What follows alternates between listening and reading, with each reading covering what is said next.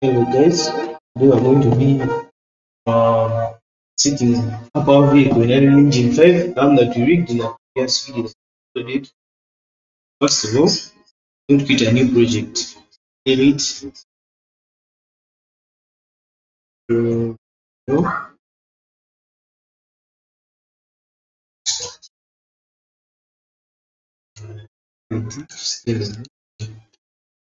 Going be using blueprints this project. We load up the project. So now that the project has loaded up, um, I'm going to begin. First of all, um, so we're going to start by importing our model. We first create a new folder and we name it F1 model. Yeah. Okay. Just click import, import the vehicle. I'm going to leave a link to it in the description.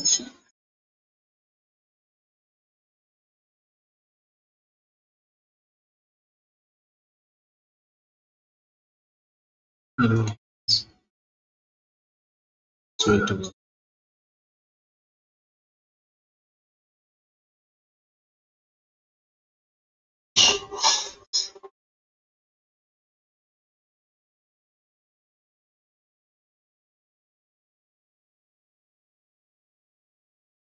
just wait for it to import.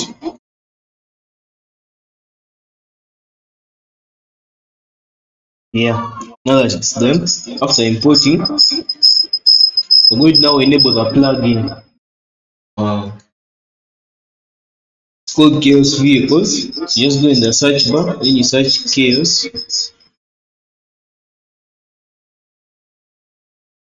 Yeah, click to enable it, click yes, then you restart the engine.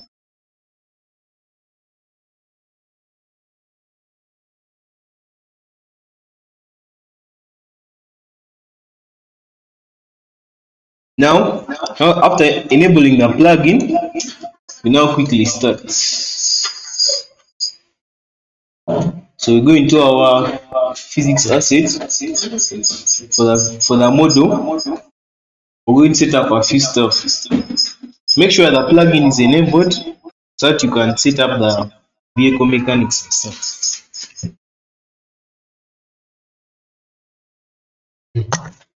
So um, now that you open the physics asset, click on the root, then go to primitive type,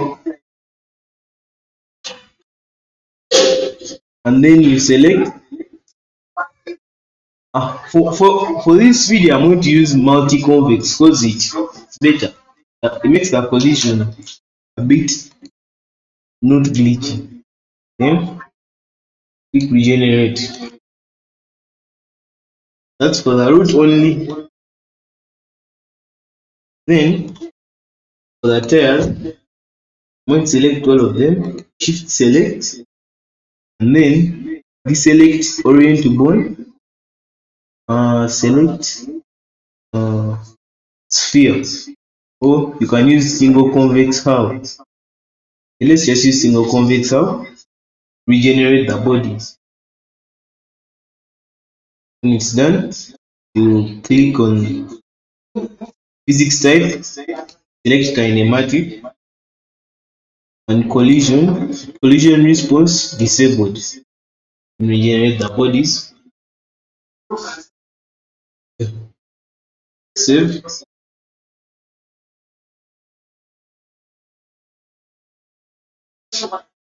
Then we go to let's create a new folder. We name it blueprint.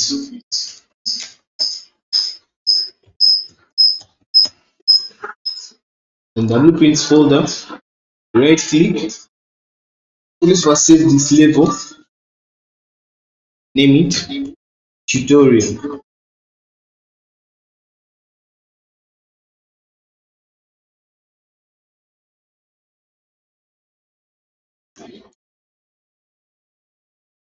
Okay. After saving the level make sure it's saved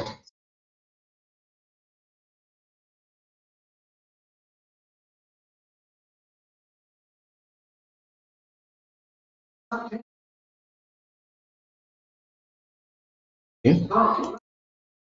After saving our level we're going create a new game mode. Game mode this name it tutorial mode save. You go into the world settings go to game mode override select the tutorial mode. Then default point okay let's first create a, a blueprint class. I'll name it. Wheeled wheeled vehicle pawn select it then name it. F1 racer yeah. save. Open up the f1 racer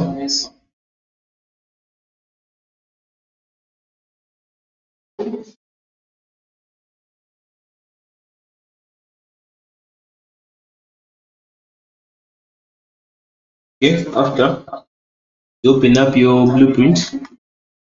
Uh, let's first add our mesh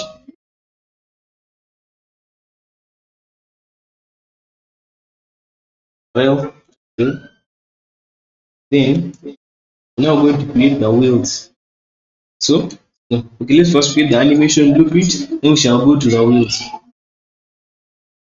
go to animation animation blueprint select the car skeleton go to parent class select vehicle animation anim eh, vehicle animation instance.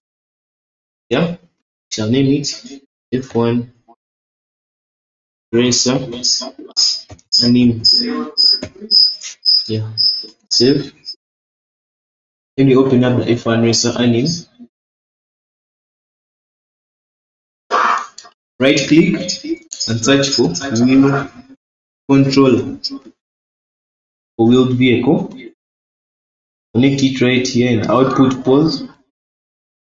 Right click mesh ref pose select connect it compile save. Sorry. so select our anim class. As F1 racer anim compile save. Now let's go to the wheels. Blueprint class. Search for chaos. Vehicle wheel. Select it. Huh? then we shall name this front blueprint class. Chaos oh. vehicle wheel. Select. And we shall name it rear. Or make sure to save your things. Create a new folder. Name it wheels. Select them. Drag them into the folder. Now we're going to do? We're going to get our static mesh or skeletal mesh drag it into the world. Then zoom into it by double clicking in the outliner. Then shall go to perspective and select stop. Now double click on it again to zoom. Then you zoom. And use the middle mouse button to measure the dimensions. Now let's go to our wheels go to the front. Uh, go to axle type and change it to front. Now the wheel radius i'm going to get it by measuring the wheel. Hmm. so the radius is 45 half of this distance. So shall put 45. Then for the width we shall it the same because basically 20. Yeah. Then for the rear wheels, let's first save rear wheels. Oh yeah, forgetting something about the front. Uh, make sure you tick the checkbox for affected by steering and by handbrake. Well, save. If the rear, affected by engine, the handbrake. Okay, just do it for the back wheel. Then for the wheel radius, go to.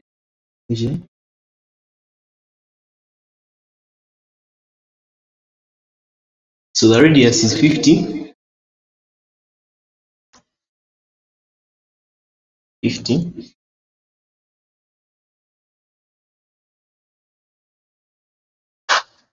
Now wheel width is 30. File save. Make sure to measure the size of your wheels or you're going to face some issues. Then I'll go back to the perspective, delete this. Now uh, we're going to ass assign our wheels our blueprint.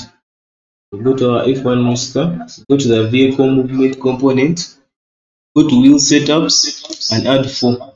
One, two, three, four.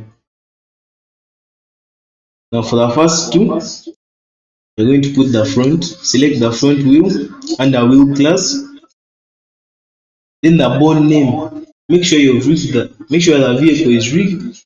So you just go to the first compile, save, and we're going to open up the vehicle skeleton, look at the bones, then we shall put them. For the two for the front wheels is FL and FR. So you go back to our blueprint, the vehicle movement component, put FL, FR. Yes. Compile. For the rear wheels, we're going to use uh, the rear under the wheel class.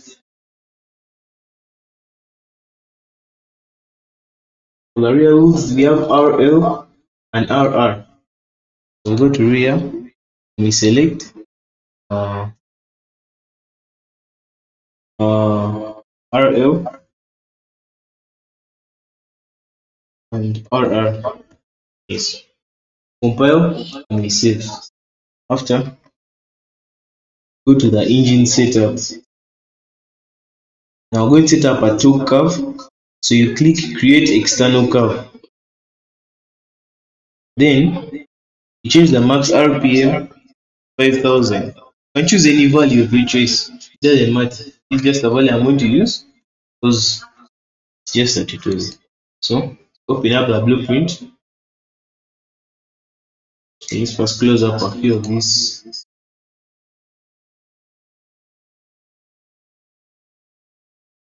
Um, now at the zero mark, we put a node by right by clicking the middle mouse button, and it would it should have zero and zero.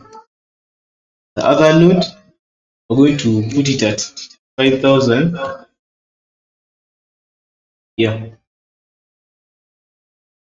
Just quickly zoom out, and you can see the other point. Then we're going to keep adding some points here in the middle, which are torque curve. So the second point is going to be at 0 0.5, 0 0.5 and at a height of, and, and at 1000. Yeah.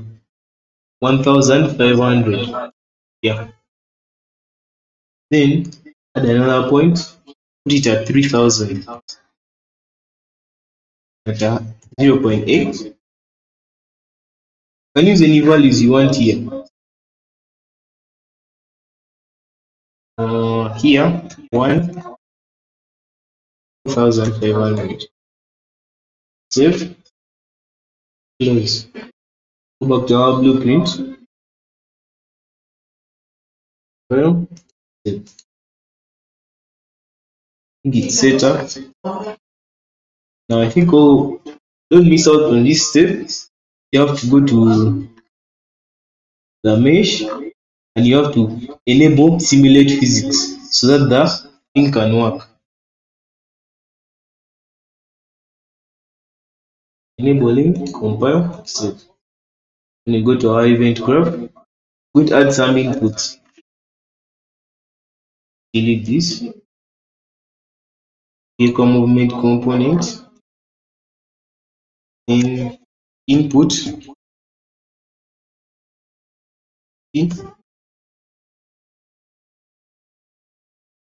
going to look for let's just create some some inputs using the old input system. Call this drive